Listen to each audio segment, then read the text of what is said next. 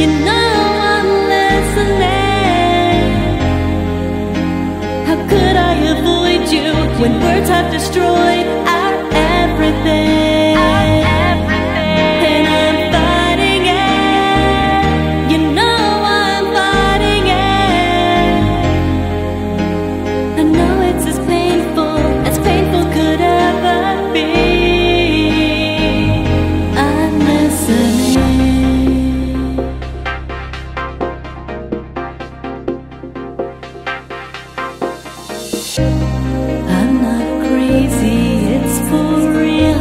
You've taken everything I feel, acting like I have no mind of my own. Just forget I said before that I'd be here.